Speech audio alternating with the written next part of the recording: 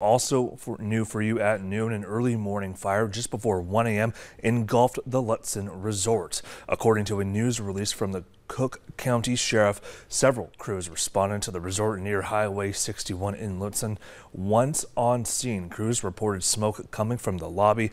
Now, the main lodge building became engulfed by the flames. Authorities say that no guests were on site at the time of the fire, and according to the lodge's manager, only one employee was working when they saw smoke.